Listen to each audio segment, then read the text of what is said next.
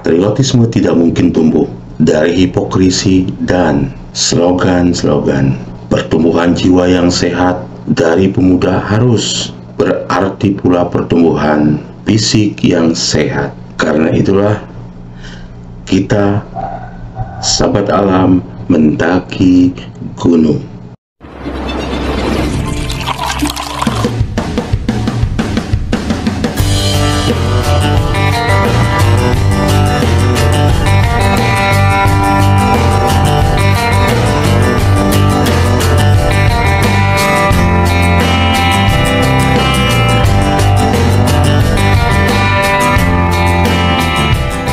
Oke sahabat alam, kembali lagi bersama saya Rudy Agusman di Gap Channel. Sahabat alam, ada beberapa alasan kenapa sahabat alam harus menjajal mendaki gunung. Patriotisme tidak mungkin tumbuh dari hipokrisi dan slogan-slogan. Seseorang hanya dapat mencintai sesuatu secara sehat kalau ia mengenal objeknya dan mencintai tanah air dapat ditumbuhkan dengan mengenal negara itu bersama rakyatnya dari dekat. Pertumbuhan jiwa yang sehat dari pemuda harus berarti pula pertumbuhan fisik yang sehat. Karena itulah saya, sahabat alam semua, mendaki gunung. Dan kegiatan mendaki gunung memang harus dicoba. Bahkan sebagian elemen masyarakat Sering saya katakan di materi video-video sebelumnya bahwa sekarang kegiatan mendaki gunung bukan lagi milik sekelompok komunitas yang menamakan diri sebagai penggiat alam, pencinta alam, komunitas pendaki gunung sekarang sudah merambah ke berbagai lapisan masyarakat.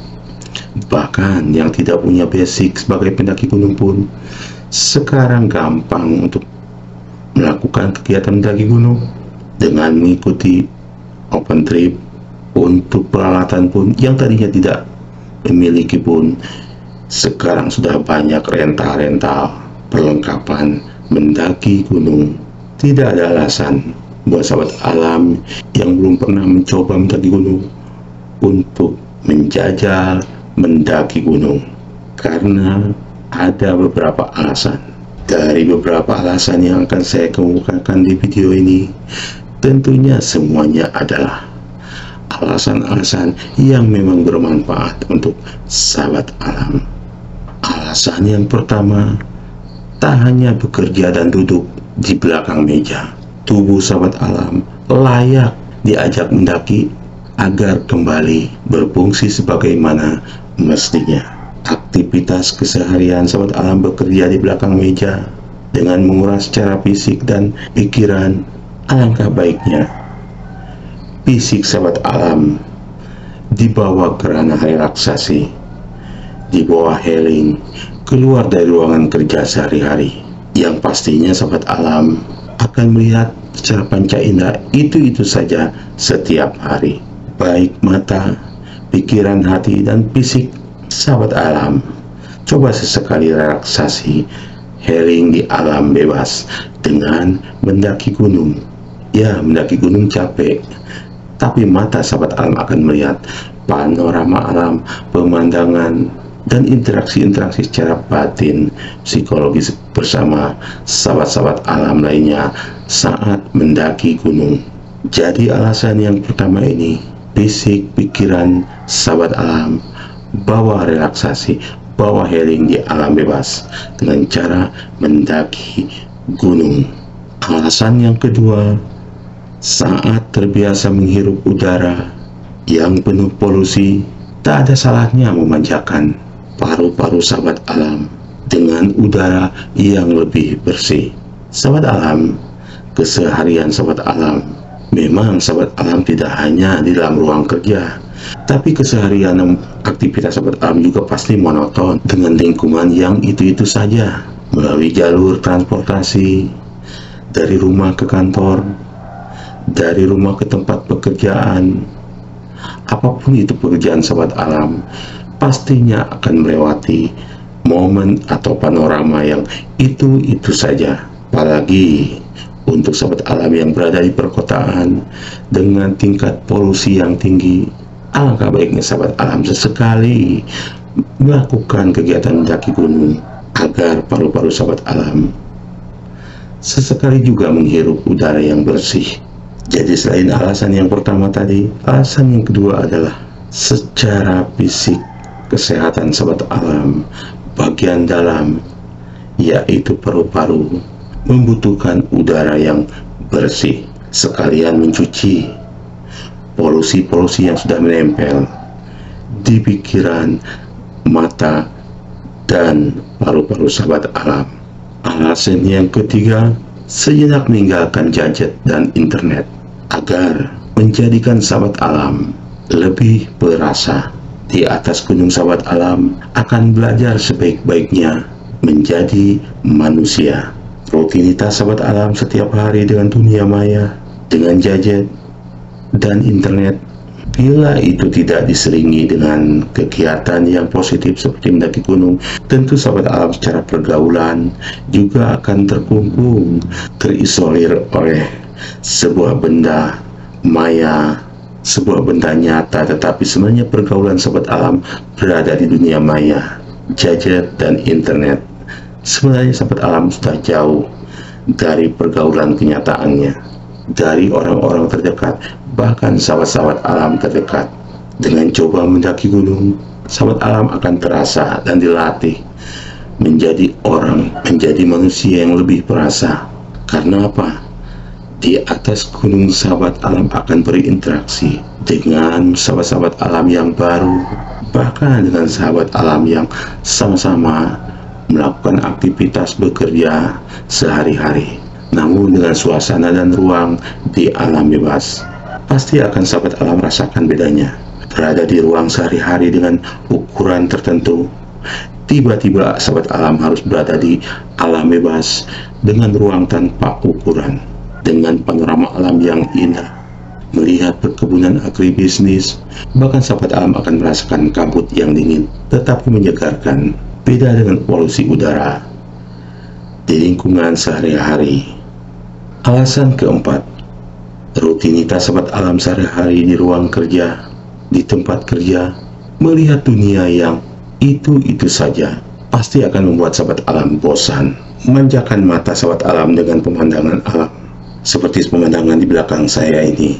Tentu, mata sahabat alam tidak akan melihat secara langsung pemandangan yang indah di belakang saya ini dengan ukuran ruang tidak terbatas bukan lagi melihat di gadget tapi melihat secara lain seperti apa sebenarnya bentang alam panorama yang indah tanpa dibatasi ukuran ruang. Tentu beda melihat panorama alam dengan di internet, di gadget, dengan melihat secara langsung. Kesan secara batin pun akan beda. Bahkan pikiran dan hati sobat alam pun akan menilai beda saat sahabat akan melihat panorama itu dijajat atau di internet dengan secara langsung atau live di alam bebas saat mendaki gunung. Alasan yang kelima, mendaki gunung akan menempa sahabat alam merawat mimpi. Sahabat alam percaya bahwa fokus dan kegigihan akan mengantarkan sahabat alam ke pencapaian yang tinggi. Maksudnya apa dari alasan kelima ini? Tentu sahabat alam juga akan berbeda dengan saya.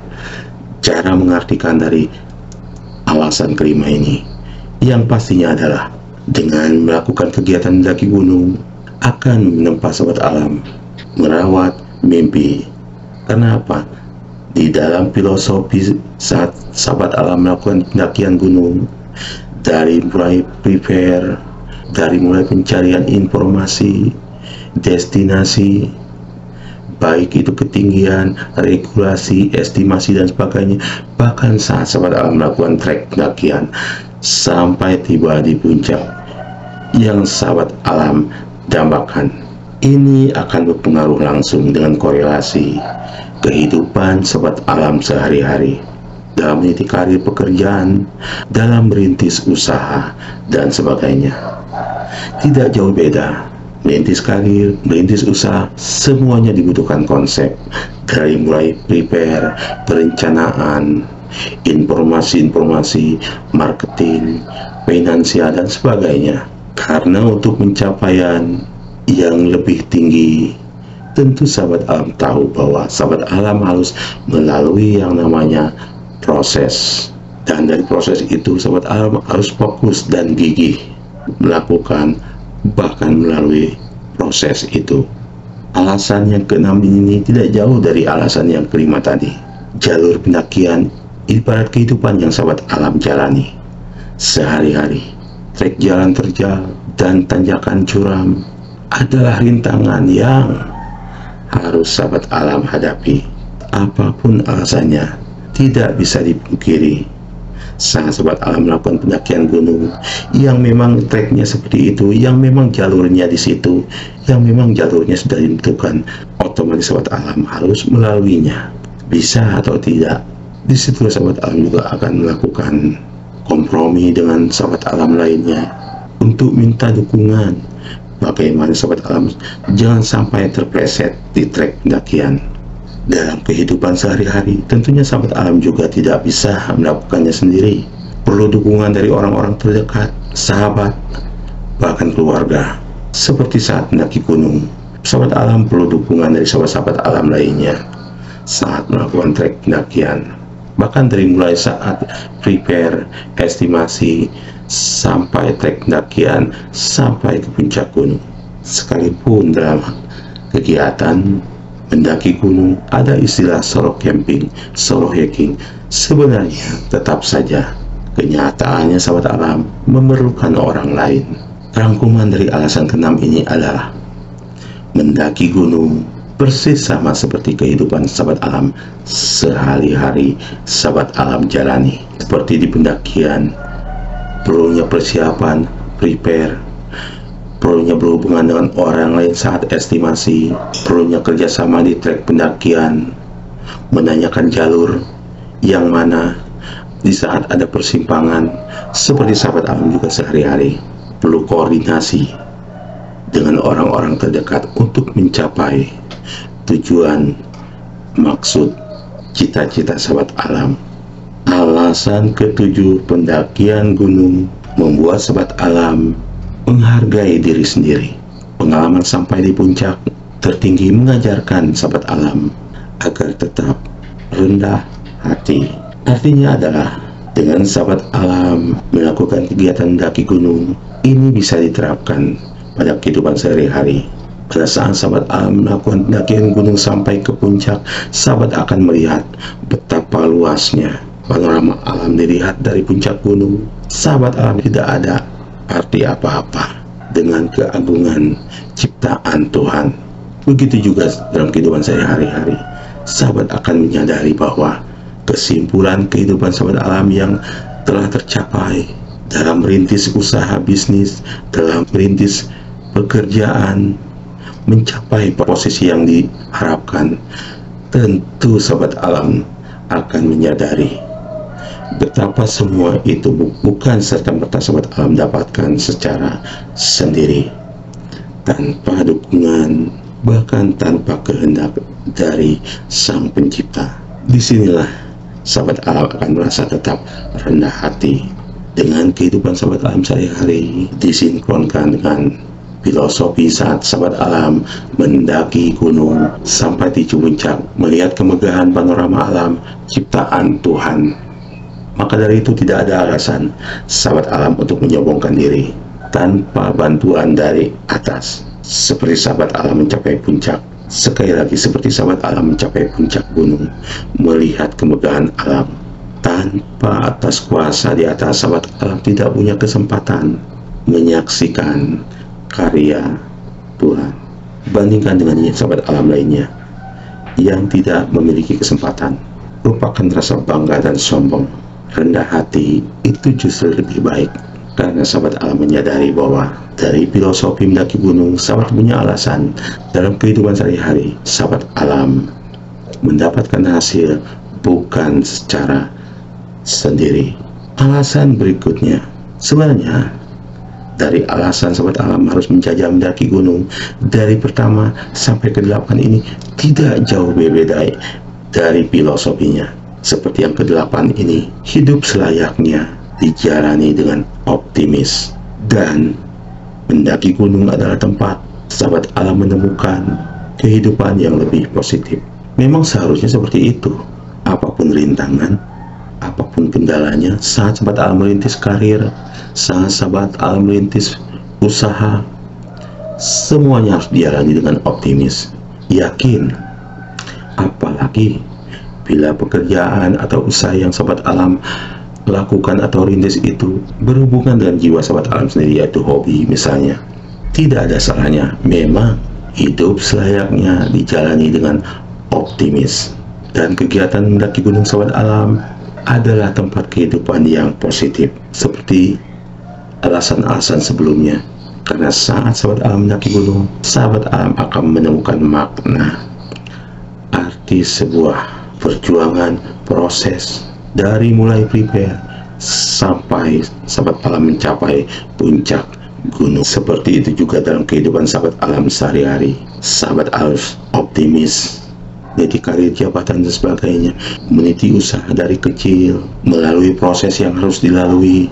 Kendala finansial kendala tenaga kerja bahkan kendala-kendala pendukung lainnya. Semua harus sahabat alam jalani dengan optimis naiklah ke puncak gunung tanyakan pada diri sahabat alam sendiri adakah alasan lain yang membuat sahabat alam tidak akan mendaki gunung lagi saat sahabat alam mendaki gunung sampai ke puncak gunung dengan melihat dan menyaksikan sendiri kemegahan panorama alam ciptaan Tuhan. Iya, pada saat prosesnya sahabat alam memang harus melalui trek pendakian yang curam, terjal, bahkan bahkan licin. Bahkan sahabat alam harus berjibaku dengan cuaca hujan, jalur trek yang licin. Tetapi pada saat sahabat alam sampai di puncak, sahabat alam akan merasakan sendiri kenikmatan dari setelah melalui proses pendakian, trek pendakian yang licin dan sebagainya. Seperti juga kehidupan sahabat alam sehari-hari setelah sampai sahabat alam di puncak karir, di puncak penghasilan, merintis usaha, pasti sahabat akan melihat ke belakang? Bagaimana perih, sakitnya, susahnya sahabat melalui proses? Dan tentu ini akan menjadi bahan cerita bahwa sahabat alam mencapai puncak bukan tanpa melalui proses. Rasa bangga sahabat alam mencapai puncak tetapi dengan tetap rendah hati karena sahabat alam sadar. Sahabat melalui proses itu bukan berarti tanpa bantuan orang lain. Bahkan bahkan sahabat alam menyadari bahwa sahabat alam sampai ke puncak tentu atas dukungan dan kehendak yang di atas. Sahabat alam Filosofi mendaki gunung sering digunakan oleh para motivator kepada audiennya untuk digunakan sebagai filosofi dalam kehidupan sehari-hari. Baik itu untuk mencapai karir posisi pekerjaan untuk mencapai baik itu sahabat alam untuk merintis di bidang usaha dan sebagainya intinya adalah dengan sahabat alam mencoba untuk menjajah kegiatan mendaki gunung, sahabat alam akan mengenal filosofi kehidupan yang sebenarnya. Seperti yang sudah saya ulas dari awal tadi, kehidupan sehari-hari sahabat alam seperti kegiatan sahabat alam mendaki gunung. Dari mulai prepare, dari mulai prepare, mencari referensi data, mencari referensi data, gunung yang akan dituju, regulasinya seperti apa, dari mulai persiapan akomodasi, logistik, perlengkapan dan sebagainya bahkan sampai ke lokasi base camp melakukan estimasi sampai sahabat alam melakukan trek pendakian sampai ke puncak persis sama seperti kehidupan sehari-hari. Dalam kehidupan sehari-hari bahkan dari ruang lingkup terkecil dalam satu hari sahabat alam harus melakukan prepare persiapan. Sahabat alam harus melakukan prepare persiapan sebelum berangkat ke tempat kerja sebelum ke lokasi usaha sahabat alam apa yang harus dibawa? Apa yang harus dipersiapkan? Sampai akhirnya sahabat alam mendapatkan pencapaian di puncak gunung atau di puncak karir pekerjaan di puncak usaha. Sahabat alam tetap rendah hati. Karena apa? Sahabat alam sadar bahwa mencapai puncak gunung tidak serta-merta tanpa proses capaian ke, di puncak karir pekerjaan dan juga tanpa melewati proses. Oke sahabat alam, beberapa alasan tadi adalah Kenapa sahabat alam harus menjajah mendaki gunung? Selain akan mempengaruhi secara fisik dan mental, kegiatan mendaki gunung juga akan mempengaruhi fisik sahabat alam. Buat sahabat alam yang baru bergabung di Gap Channel, saya mohon dukungan dan solidaritasnya dengan cara bantu like, share kepada sahabat alaminya agar bermanfaat. Dan jangan lupa bantu subscribe dan tekan loncengnya agar sahabat alam tidak tertinggal di materi-materi berikutnya di Gap Channel. Saya Rudi Agusman bersama Gap Channel. Salam kali.